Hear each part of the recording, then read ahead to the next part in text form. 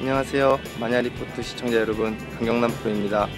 일단 국내 대회가 좀 개막이 좀 늦어지긴 했는데 그리고 또 준비를 워낙 많이 했어요. 그리고 발렌타인 챔피언십을 치르면서 또 외국 선수가 같이 경쟁하면서 또 여러 가지 많이 배우고 작년에 좀 보완을 해야겠다라고 생각했던 부분들을 개막전이 워낙 큰 시합이긴 했지만 발렌타인 챔피언십에서 조금씩 뭐 많이 이렇게 성과가 좀 있었다라고 생각을 좀 하고 있었기 때문에 뭐 일단 남서울 컨트리 클럽에서 좀 개막전인 만큼 파5 공략을 좀 주력을 많이 했어요. 그래서 거리를 좀 뭐 동계훈련을 하면서 좀 거리를 많이 늘렸는데 어 이제 파5 같은 데서 조금 다른 선수들에 비해 좀 거리가 더 나가서 아이언으로 two on도 좀 쉽게 될 것 같고 해서요.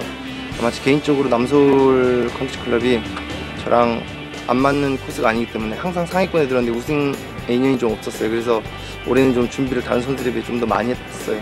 작년에 2승 했는데 올해는 한 욕심 같아서는 한 3승 정도 하고 싶어요. 12연도에서 15원도 사이가 좀 되지 않을까 제 개인적으로 생각하고 있습니다. 음, 저는 10원도 이상을 일단 기본적으로 목표로 하고 있고요. 매일 언더파를 치는 게 아마 남서울에서는 가장 중요할 것 같아요.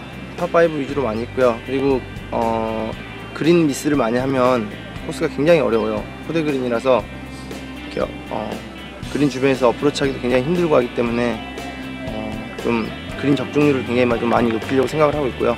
또 그린 적중률을 높이려면 반대로 드라이버가 러프에 들어가면 아무래도 flyer 현상, flyer 현상이라고 해가지고 제가 생각한 거리보다 워낙 멀리 나가고 이런 뭐 경우가 많기 때문에 일단 티샷을 페어웨이 적중하는 거 굉장히 신경을 많이 쓰고 있어요.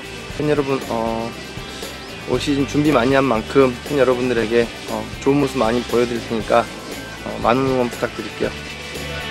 화이팅!